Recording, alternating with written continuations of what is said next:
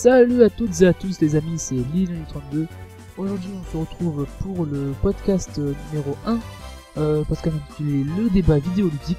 Je suis en compagnie de mon acolyte de toujours Salut à GPM. toutes et à tous et bienvenue pour ce nouveau podcast que vous aurez, je pense, toutes les semaines ou tous les mois, je sais pas, euh, on n'a pas décidé encore avec On les verra. Lilian, on verra. Euh, donc euh, ce podcast est disponible sur iTunes, SoundCloud, comme vous l'avez vu sur le trailer qui va sortir à, à la suite de l'enregistrement de ce podcast. Et on va tout de suite passer à la première news, qu'en penses-tu Lilian Eh ben, je pense qu'on devrait quand même présenter euh, le sujet du podcast avant. Oui, Donc euh, vrai, le podcast, euh, le débat. Donc on va débattre sur quoi? Sur euh, la Wii U, sur le, la console Nintendo Voilà. Wii U, comme vous pouvez le voir le titre de ce voilà, la- podcast. le nouvel... les débuts de la Wii U, l'avenir Ouais, de la. Wii U, comment s'est portée la Wii U ces derniers mois, les jeux qui sont sortis la Wii U. On va faire un débat total sur Voilà. la Wii U. On va également, on Euh, va, on va- on va euh, commencer- également voir euh, les jeux les plus vendus de la Wii U, les jeux qui ont le mieux saisi leur critique, et également une petite news sur la 3DS et les jeux qui vont sortir en mars 2013. On, on attaque de suite avec les news, euh, donc euh, on va aller très rapidement sur ce point-là, étant donné que les news de la semaine, il n'y en a pas eu énormément. Donc Eh euh, ouais. tout d'abord, euh, deux coloris euh, pour la Nintendo 3DS au Japon. Light Blue Euh, et la- Gloss le coloris Pink. Light Blue et Gloss Pink, voilà. Euh, donc euh, ce n'est pas des coloris pour Nintendo 3DS XL, mais bien pour 3DS normal. Voilà. Et car Nintendo euh, pense à, que cette console encore en Voilà, au Japon, je précise aussi. Hein. en Je sais pas Japon. si tu l'as Ah oui, non, c'est c'est que au Japon justement, je Voilà. l'ai déjà dit.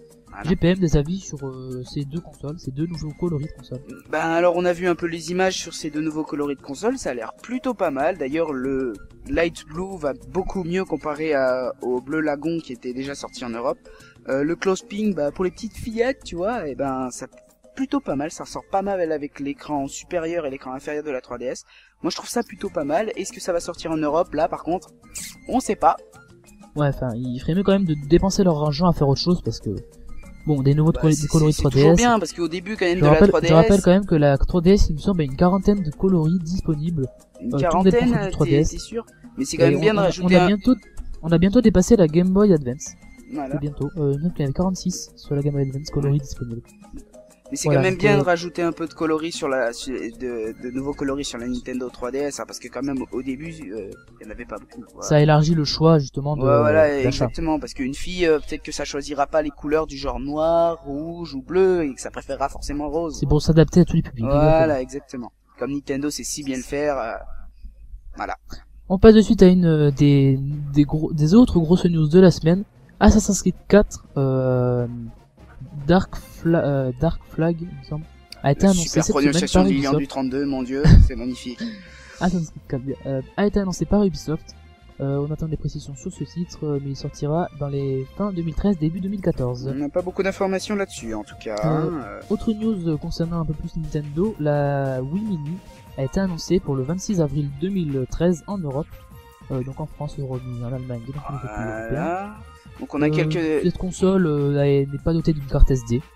Il n'y a pas de connexion internet. Voilà, disons Elle n'est pas compatible avec GameCube. Voilà, Euh, la console euh, sans intérêt. Voilà, dis- disons, c'est peut-être pas une console sans intérêt parce que c'est quand même moins cher Oui. qu'une Wii, mais euh, euh, en, en gros là ça devient carrément une GameCube, mais sans la compatibilité GameCube. voilà, et avec peut-être des graphismes. euh, Bon, non, j'ai rien dit, j'ai rien dit. j'ai rien dit. Voilà. Donc euh, cette console est, je vois pas l'intérêt, mais elle sera proposée quand même à 79 euros, un prix plutôt intéressant, sachant Mm. qu'on aura une manette euh, Wii Motion Plus rouge avec un shoot. Voilà. Voilà. Euh, JPM, je te laisse continuer. Euh, bah, euh, exactement. Euh, bah, on va passer au, à la prochaine news qui est. Euh, une autre news, Rayman Legends aura un mode multijoueur, une sorte de démo, mais ce sera un mode multijoueur, alors on sait pas trop comment se passer, comment ça va se passer. Ce sera sur Nintendo Wii U pour euh, confirmer, euh, enfin pour euh, s'excuser en quelque sorte du retard du jeu qui devait sortir normalement le Voilà, en au line up, ouais, il devait sortir au line in up, Non, line-up GPM. line up. Voilà, parce que Lilian se plaint Mais toujours non, de ma il a- prononciation et de sa faute, je l'ai raté. Voilà, je suis Donc, désolé. il a voilà, été euh, reporté à février, sauf qu'il a été encore reporté à septembre. Nintendo a perdu son exclusivité. Donc euh, voilà, il va sortir Mm. sur Xbox PS4 et PS3. avant et la. Wii, euh, avant de- la sortie sur Wii U. Bien ouais, sûr que non, en même temps. En même temps, oui, enfin bref. Donc bref, euh, donc pour combler ça, ils, ont sor- ils vont sortir une démo euh, online. Ce sera en quelque sorte des niveaux avec des fantômes euh, qu'on pourra voir, euh, on pourra concourir d'autres fantômes. Il y aura un multijoueur local aussi. Je sais pas trop comment ça va se passer, mais toujours est-il que le jeu reste quand même plus restera quand même plus intéressant sur Wii U avec l'interactivité euh, du gamepad avec la console et le jeu. Ce sera toujours mieux que sur PS3 ou euh, Xbox avec une simple manette comme on a vu sur Rayman Origins. Voilà, je peux rajouter un truc? Vas-y. Bah apparemment euh, le mode multijoueur de Rayman, si j'ai bien compris, euh, il y aura un, euh, ce qui est dégueulasse quand même, c'est qu'on pourra pas choisir son personnage. C'est c'est pas logique, je sais, mais on pourra pas choisir son personnage. Le premier joueur sera Rayman, l'autre sera Globox si vous connaissez, et les autres ce sera les petits persos de Rayman. Merde, comment ils s'appellent déjà ces, ces petits trucs? Les Tu te souviens toi comment ils s'appellent? Ouais, non pas les Looms. Les, Les- Looms c'est les Oh, tu sais, c'est les, les gamins, tu sais, dans Rayman 3, ils, chantent, ils dansaient à la fin. Enfin, On, bref, on passe voilà. de suite à, à la news suivante. Donc euh, Watch Dogs a été officialisé sur Wii U. Euh, donc on a eu une jaquette. euh, euh, donc le jeu, genre pour pour rappel, sortira sur PlayStation 3, Xbox 360, Xbox 3, PS4, PC et Wii U. Euh, donc on peut espérer avoir une espèce de sous-version pour Wii U, PS3, 360, étant donné que la PS4, PC et euh, Xbox 3 seront euh, puissants, euh, seront plus puissants en termes de graphisme. Donc on espère euh, avoir pas trop une sous-version euh, bâclée. Ubisoft cherche pour le moment à comment utiliser le, le gamepad de façon euh, comment utiliser le gamepad sur Wii U. Et apparemment on aurait Voilà, ils ouais, c'est vrai qu'ils exploitent au maximum le, le, le gamepad Ubisoft. Hein. On est les meilleurs, les gars. euh, Continuez. et donc on, une application Android et, euh, sur l'iTunes Store est prévue pour euh, contrôler en quelque sorte le jeu. Euh, vu que le héros a une sorte de téléphone portable qui sort, on pourra faire comme le héros avec un téléphone portable. On sait pas trop comment ça va marcher, mais ça va marcher. On passe de suite euh, à notre débat. GPM, as-tu quelque chose à ajouter concernant les news de la semaine, euh, tes avis, tes impressions? Sinon, on peut passer au débat directement. Alors vas-y. bah, disons qu'on n'avait pas beaucoup de news, donc on s'excuse. Voilà. Voilà, mais c'est pas notre faute. Donc on passe de suite au débat. Euh, c'est parti. Alors on attaque de suite avec notre gros débat, euh, le débat, le sujet principal Voilà. de ce podcast, Sur la Wii U, effectivement. la Nintendo Wii U. Voilà. Alors on va évoquer de suite euh, les raisons de son annonce. Euh, pourquoi Nintendo a cette sortie en fin 2012 alors qu'il aurait pu la sortir bien avant? Alors GPM, euh, les raisons de son annonce, je vais te laisser débattre sur ce sujet. Bah, les raisons de son annonce, euh, c'est très simple. Déjà, Nintendo voulait tout simplement donner accès à une console pour tous les joueurs, que ce soit les joueurs casual, comme on les nomme, ou les joueurs gamers, en proposant des graphismes bah, assez bons et euh, des jeux quand même innovants qu'on peut jouer tout simplement Alors, en les graphismes, on verra ça plus tard. Oui, c'est vrai, pardon. Et- Ce point-là, plus tard. voilà. Mais en fait, ils voulaient tout simplement inventer une console qui plaît à tout le monde, comme ils le disent si bien dans le 3. Voilà, ils voulaient, ils voulaient se mettre à niveau euh, en proposant des graphismes euh, corrects. Voilà, exactement. Voilà. Euh, on va passer de suite aux ventes de la console. Les ventes de la console ont été très très faibles en janvier et en février. Euh, donc Nintendo est assez déçu selon euh, selon les retours. Euh, vers novembre, décembre, la console s'est plutôt bien vendue. Mais on peut observer par exemple euh, en le 30 janvier une rupture de stock euh, assez massive de la console. Euh, étant donné que certains joueurs n'ont pas eu accès à leur console, ça fait que ça a réduit les ventes. Euh, moi personnellement par exemple, j'ai pas pu avoir ma Wii U le 30 novembre. Et donc du coup, bah, je passe les détails, j'ai pas pu l'avoir. Donc du coup, je ne joue pas ma Wii U. Et euh, donc on va voilà. GPM. Euh, Ah, ah, moi, la Wii U, pour ce l'instant, euh, c'est pas trop mon sujet d'intérêt. Hein. Je verrai peut-être l'année prochaine, mais pour l'instant, euh, Voilà, donc des ventes assez décevantes pour une console qui semblait. Euh, bah, qui semblait plaire aux joueurs, en fait. qui se- Le- Mais en fait, pour l'instant, la console n'a pas assez de jeux pour euh, pour euh, plaire euh, aux joueurs. pas en fait. assez de jeux quand même, il y en a, je pense. Il y a, y a du choix, mais il y a pas assez de Euh, gros jeux. en Voilà, fait. il y a pas assez de gros jeux. pas assez de Disons gros que jeux. les jeux qui sont sortis, Bah, c'est des jeux, euh, bah, je sais pas comment les décrire en fait. C'est des jeux, euh, c'est des jeux pour tout le monde. voilà, des jeux casual. Ou voilà, les jeux casual. Euh, de toute façon, Enfin, les, les jeux les plus, les jeux les plus vendus, c'est Nintendo Land euh, vendu avec la console, euh, New Super Mario Bros. U et Oui. Zombie U. Voilà, bah c'est les jeux, c'est les jeux que les joueurs voulaient quoi, et c'est les jeux qui ont été beaucoup mis en avant par Nintendo Direct. C'est pas les seuls, hein, mais c'est les jeux qui ont été mis en avant par Nintendo Direct et que les et joueurs par voulaient. simplement toutes les publicités, euh, Voilà, Bros. bah, ouais, voilà. Dans les centres de publicité. Je, je me demande qui a vu une pub pour Assassin's Creed sur Zombie sur sa télé quoi, euh, c'est ça. Euh, ouais, Assassin's Creed, c'était un jeu des assortis. Ouais, en plus. Juste petite parenthèse sur ça, Monster Hunter Monster Hunter Tree a fait quand même 200 000 ventes euh, au Japon rien que sur les deux premiers mois de lancement. Le jeu est déjà sorti au Japon, il n'est pas encore sorti en Europe, mais on espère quand même des ventes assez conséquentes pour ce titre euh, quand il sera arri- arrivé dans nos contrées et aux États-Unis. Attendez Voilà. mars 2013 pour ça.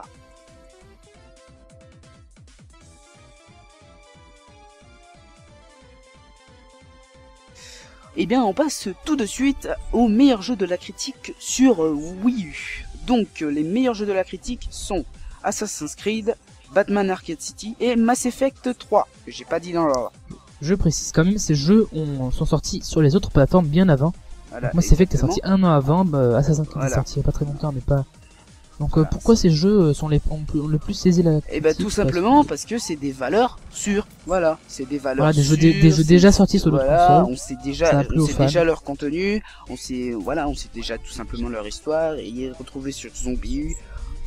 Bah c'est cool. Et bah, tout simplement, c'était des jeux que, euh, si jamais on les avait pas encore sur, euh, sur console concurrente, on pouvait en profiter sur euh, Wii U si on avait acheté la Wii U. Voilà. Bah, bon, personnellement, j'aurais pas acheté une Wii U pour ça, étant donné que si- si jamais, si j'aurais eu une PS3 ou une Xbox, j'aurais pas acheté une Wii U pour jouer à Mass Effect, personnellement. Voilà, mais voilà. d'autant que sur les autres plateformes, c'est beaucoup moins cher que sur euh, sur euh, Wii U quoi.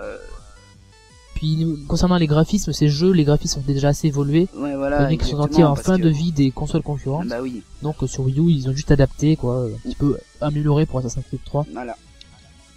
Exactement. Euh, voilà, concernant les, parce que quand on regarde Zombie U, les graphismes ne sont pas exceptionnels. Bah Euh, il oui, faut l'avouer, mais les graphismes les- voilà, comme tu euh, le dis, c'est les débuts de, c'est les débuts de, C'est les débuts de la Wii ça va la. Wii U, quoi, ça va. Mais ils auraient quand même pu faire un petit peu mieux. euh, C'est comme par exemple euh, les, les débuts des autres consoles, genre les débuts de la PS3, les jeux étaient tout bonnement moches, faut le dire. Ouais, mais c'était quand même en 2007. Hein. En 2013, est-ce qu'on peut faire des jeux aussi pas moches, mais est-ce qu'on peut faire des jeux aussi peu évolués en termes de graphisme? Est-ce que c'est possible?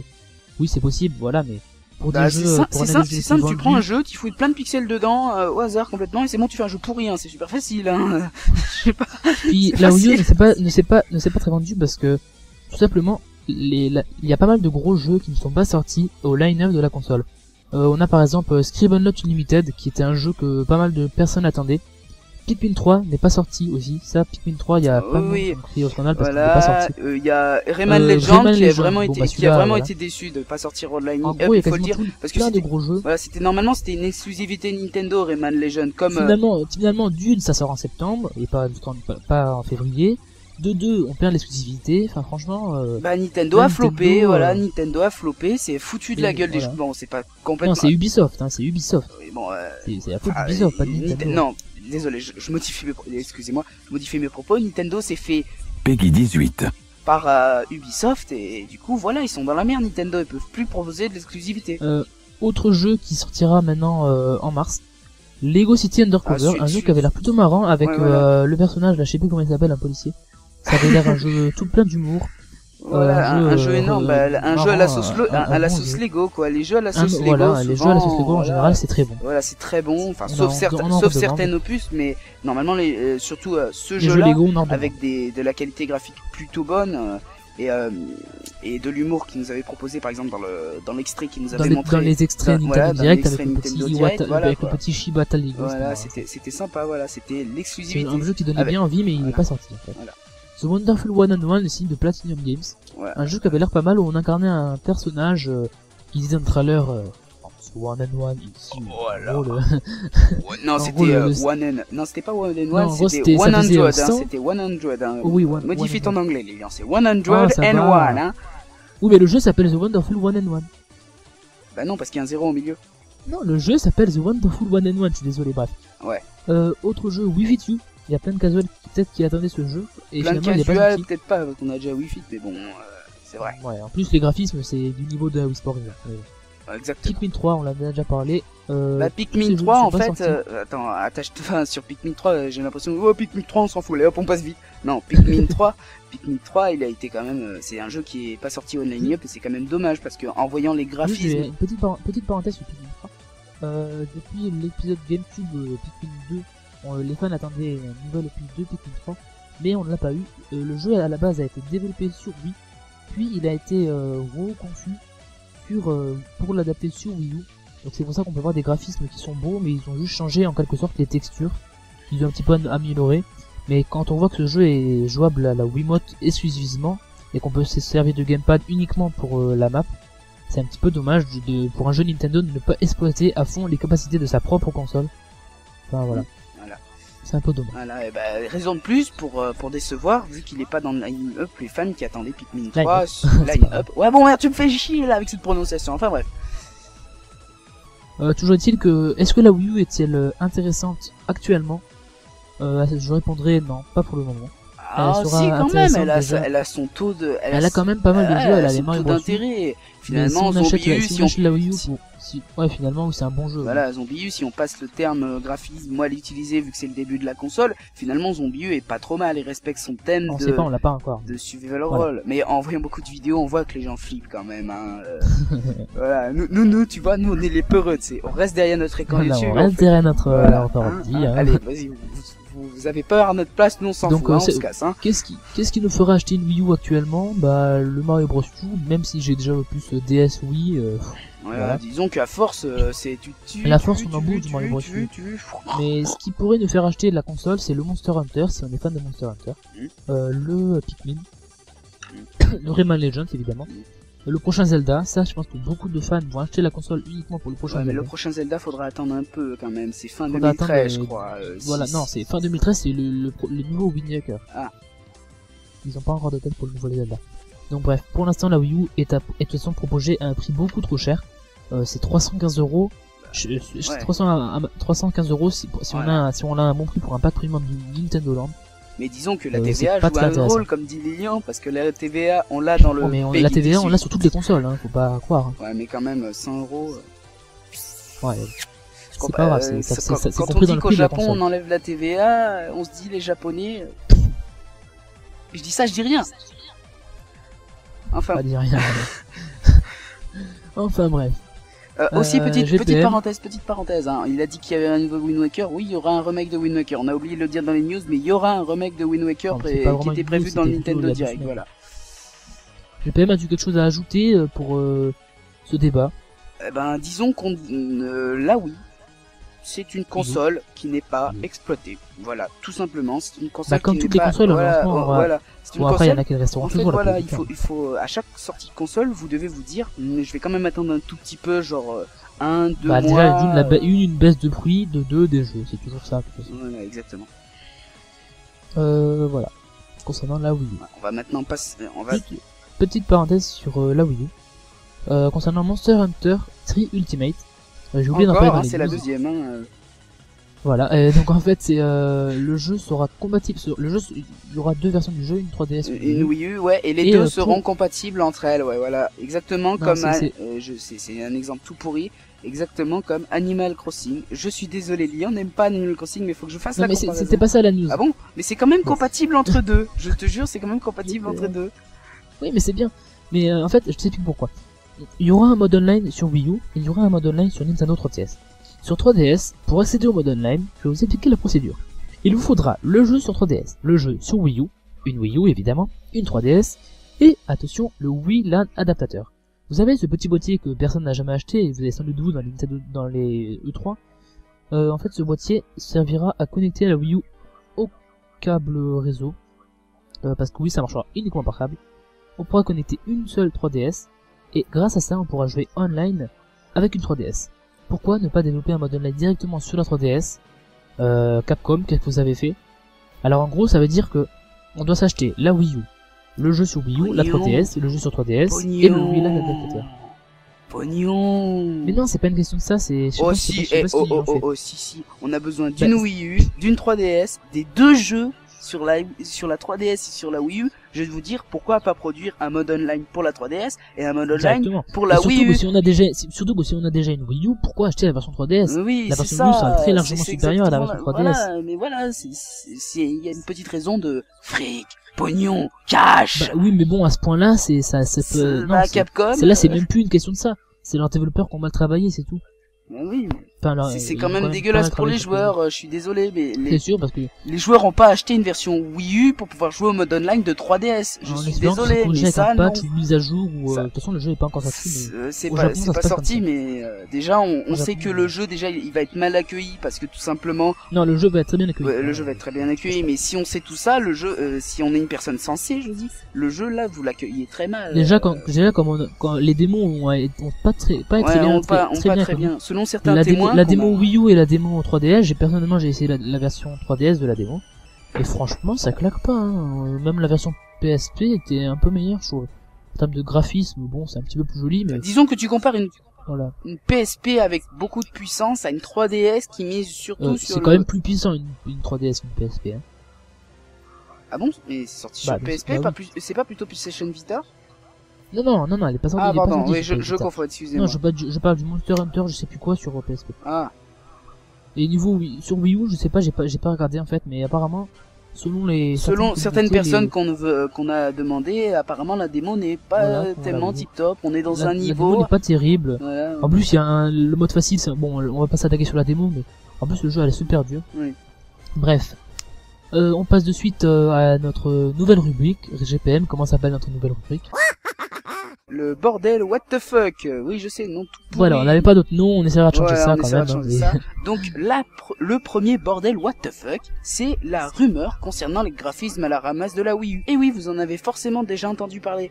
Effectivement, dans beaucoup de commentaires YouTube, vous voyez souvent quelques trolls, et je dis bien trolls, et je pèse mes mots en disant troll, 3 fois de suite, je sais, trois- triple combo. Euh, bref, vous dites comme ça, comme vous voulez. Euh, les trolls disant ouais la Wii U c'est trop moche hein, les graphiques de la PS3 et de la Xbox 360 c'est vachement mieux et ben seul troll vous mettez répondre et vous lui dites tu fermes ta gueule et tu vas te coucher. Alors tout simplement parce que euh, la Wii U en termes de matériel, alors certes le processeur est moins puissant sur Wii U, c'est uniquement un 4 coeurs de 1,26 GHz, c'est pas énorme mais ça suffit apparemment. Lilian, Lilian ingénieur. Concernant le, le GPU de la Wii U, donc la, la puce graphique, elle est largement plus, puissante sur Wii U que sur PS3 et euh, PS et Xbox. Et même concernant les jeux, quand on compare par exemple le Most Wanted euh, de la Wii U et le Most Wanted de la PS3 et de la Ah Xbox, oui, c'est celui de la Wii U qui, qui est le plus qui, beau. qui est hein. le plus beau, il y a Je- plus je suis désolé, mais arrêtez les trolls, quoi. Euh, je sais bien que vous, que vous êtes fan de la PS3 et de la Xbox, mais la Wii U, dé- désolé d'utiliser ce terme, Lilian, c'est la première console de la huitième génération. Donc c'est forcé d'être meilleur qu'une PS3 et d'une Xbox 360. Voilà. Parce que c'est des consoles de septième génération. Surtout voilà, que quand même. On dit que la Wii U c'est moins puissant et tout, mais je rappelle quand même qu'elle doit envoyer des flux de vidéos en streaming au gamepad. Et ça, c'est pas négligeable. Enfin, et le gamepad doit envoyer lui-même aussi des flux tactiles et des flux de boutons. Donc c'est quand même, il y a le processeur charge beaucoup avec ça. Moi, j'y connais rien au niveau processeur, il s'est trop informé. Hein. euh. si, si vous voulez, euh, hey, tu veux des termes techniques, euh, adresse-toi à Lilian. Hey, tu veux des termes complètement cons, adresse-toi à GPM. Donc euh, voilà. Et on va Et tout de bon, suite euh, passer à la prochaine, euh, prochain, euh, bah bah oui, c'est la seule, c'est le seul bordel what the fuck. On va donc passer aux sorties. Les sorties du mois. Alors euh, tout d'abord, on a retenu que les sorties qui nous, Ouais, qui nous intéressaient, parce que intéressantes, hein, Parce que franchement, sincèrement, euh, Monsterite, c'est vraiment le jeu que tout le monde veut acheter sur Nintendo 3DS, n'est-ce pas Lilian? Exactement. J'ai acheté ma 3DS uniquement pour ce jeu. Ah, Quand, il quand est trop j'ai su beau. qu'il allait sortir, j'ai acheté ma 3DS. Il est trop beau, ah, il est trop beau ce jeu. Oh les filles, oh, elles doivent être excellentes, elles doivent être. Peggy 18. Enfin bref, non, on a juste Donc on a l'infernal, programme d'entraînement cérébral du docteur. Kawashima. Pouvez-vous rester concentré Donc on avait eu une petite présentation à Nintendo Direct, euh, on voyait Iwata en diable, c'était assez marrant. Ensuite on a Iwata en diable. Et attends, Castlevania- petite précision sur le programme euh, d'entraînement. Iwata est dit en diable, mais c'est normal parce que le... J'ai fait tomber un paquet de cookies, vous en foutez. Euh, euh, parce que le docteur Kawashima dans le jeu va être un diable. Parce qu'en fait, ce jeu s'est inspiré du vrai jeu entraînement pro- de programme de Dr. Kawashima. Et c'est une version extrêmement améliorée en fait. C'est du genre, les jeux, c'est des, c'est des trucs de fou quoi. Parce que euh, c'est une grosse science en fait. Ils ont, ils se sont aperçus que tout simplement euh, les gens étaient pas assez concentrés. Alors du coup sur 3DS ils vont faire un jeu. Enfin bref voilà c'est, c'est le gros bordel quoi ce jeu. Mais si vous vous êtes, si vous voulez rester concentré, ben achetez ce jeu. Voilà. voilà. Euh, ensuite on a Castlevania Lord of Shadow Mirror of Fate.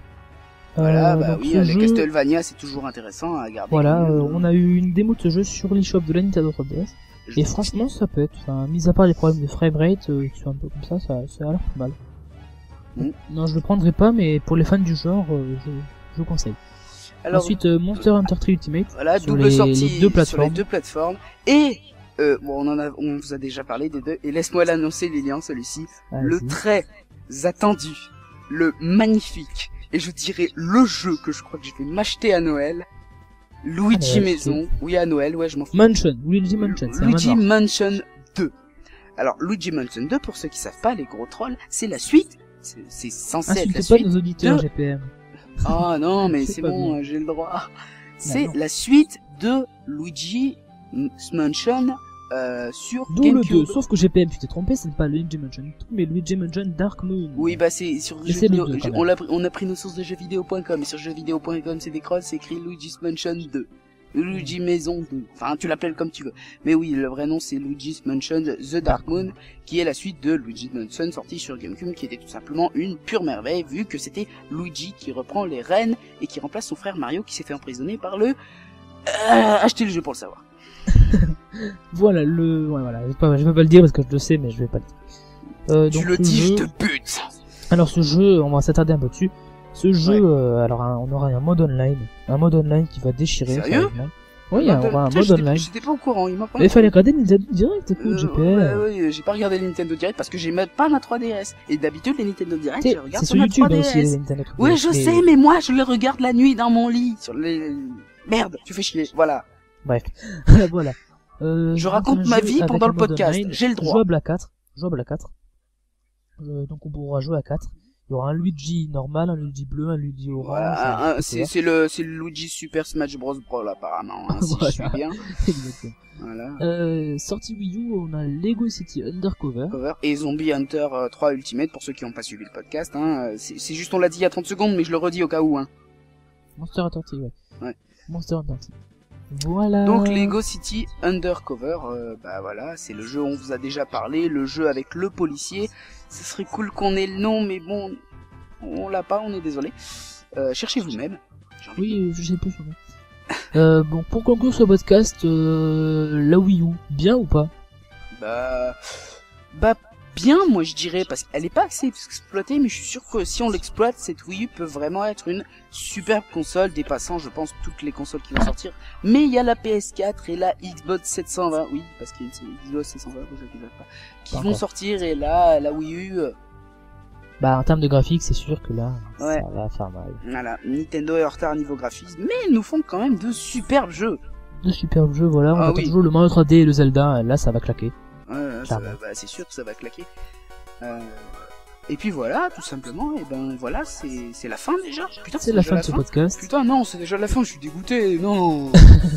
On va devoir attendre le mois prochain jusqu'au prochain podcast, ça fait chier. Le prochain podcast parle. parlera, euh, on verra le, le prochain podcast. On verra, parlera. Peut-être que si on a plus qu'on- de Nintendo Direct et qu'on a plus de sorties, on pourra vous- on ait plus de contenu parce que là, le, le podcast, je le vois sur Audacity, Une fait à peu près 30, ouais, une demi-heure, 30 minutes, ce qui est un, euh, qu'un, Ce qui est quand même pas mal pour Ouais, un ce premier qui est quand même, podcast. bah, pour un premier podcast, je trouve qu'on s'est bien marré et qu'on a bien exploité. Ouais, je sais, je teste nos trucs pendant ouais, j'ai le 3, ouais, ouais, ouais. Un Lilian, un petit mot? Bah, euh, juste, euh, vous pouvez commenter ce podcast. Mm. Parce que franchement, on, on a besoin d'amélioration. On sait que ce podcast n'était largement pas parfait. Et qu'il a besoin d'être grandement amélioré. Euh, on le Mm. dit de suite.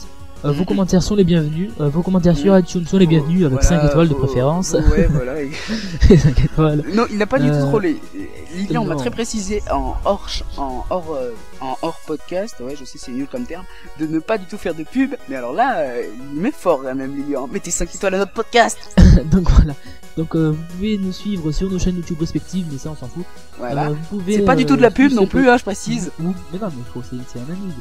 vous, vous pouvez suivre le podcast sur SoundCloud, euh, sur, Sur iTunes. SoundCloud sur, et sur notre chaîne YouTube respective, vous aurez peut-être de- des images de comparatifs. Des images de comparatifs, on va essayer de si une j'ai- vidéo. je suis assez doué, si Vegas Pro ne troll pas du tout pendant une demi-heure.